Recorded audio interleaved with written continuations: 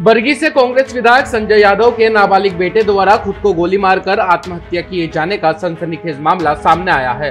गोली लगने के कारण का अभी तक खुलासा नहीं हो पाया है। सूचना मिलते ही कांग्रेस विधायक संजय यादव सहित पुत्र मंत्री तरुण भनोत और कांग्रेस के कई दिग्गज नेता नेपियर टाउन स्थित अस्पताल के बाहर पहुँच गए। इधर अस्पताल के बाहर भारी पुलिस बल तैनात किया गया है।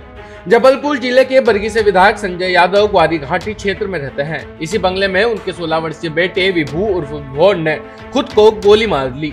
लहूलुहान हालत में विभू यादव को पास ही के अस्पताल पहुँचाया गया। जहाँ डॉक्टर ने काफ़ी देर तक उसे बचाने का प्रयास किया, लेकिन वह उसे नहीं बचा पाए।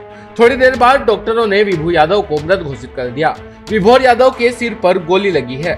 हालाँकि अभी तक यह स्पष्ट नहीं हो पाया है कि विभोर ने यह कदम क्यों उठाया।